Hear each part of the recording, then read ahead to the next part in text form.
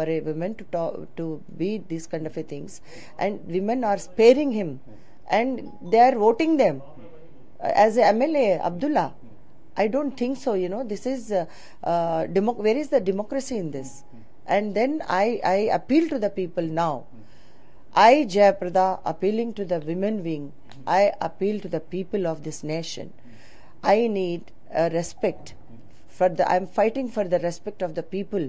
I I fighting for the respect of the women particularly, who has you know demoralized by saying Abdullah's comments as Anarkali.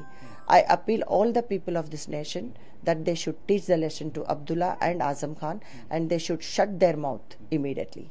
Ma'am, do you think that they are deliberately doing all these things because the election is going on, you know? Do you think that deliberately or they are- Yes, actually, they want a division in the voting. But it is not possible. People are very aware of this and educated, particularly the youth. They are supporting me, they are with me, and this nonsense will not be continued further. Thank you. Thank you.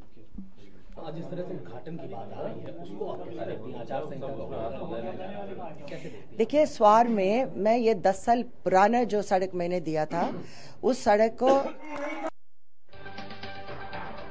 Prayagraj में deputy CM Keshav Prasad Maurya पहुँचेंगे और प्रत्याशियों के लिए नामांकन सभा को संबोधित करेंगे।